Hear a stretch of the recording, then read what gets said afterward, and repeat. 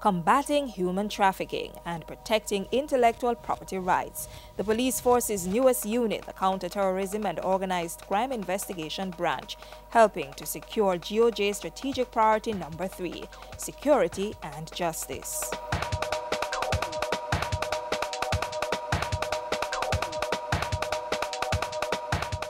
The Counterterrorism and Organized Crime Investigation Branch, CTOC, was formed earlier this year, and 35-year veteran of the Jamaica Constabulary Force, Assistant Commissioner of Police Devon Watkis, was put in charge of the new branch. In essence, upgrades the organized crime investigation division that was known to the public. We also have CTOC special ops and special projects which really is a flying squad retaining all the functions that it had before. As a result, CTOC now has responsibility for several of the JCF's investigative units. They include those responsible for counterterrorism as well as anti-gang and transnational crimes. So you may see Jamaicans having a network stressing from South Africa to Jamaica. So we have that responsibility. CTOC also incorporates the work of the units responsible for forensic and cyber crimes, stolen motor vehicle and major robberies, financial and fraudulent crimes. We are responsible for the technological side of the investigation.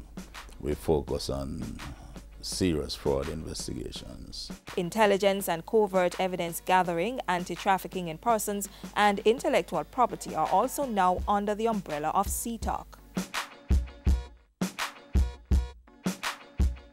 The JCF's new counterterrorism and organized crime investigation branch's ultimate goal is to strengthen Jamaica's security framework and effectively combat terrorism and organized crime in all forms.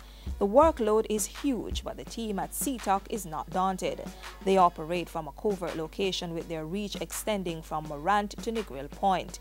To guide its operations, the investigative branch has crafted a plan of objectives for the 2015-2016 financial year.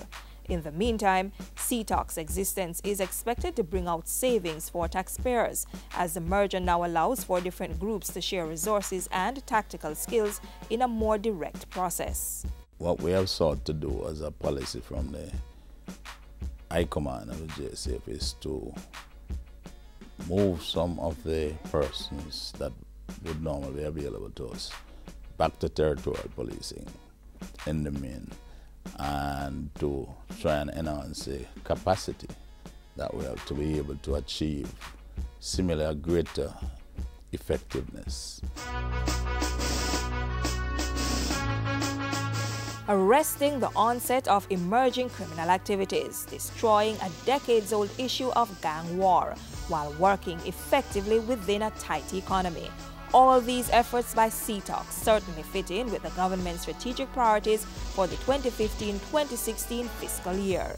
Our plan really is to contribute to uh, enhancing the security environment of our country and to recognize that the days of operating by your own in silos, that is now not the way, but to explore and enhance collaboration and partnership.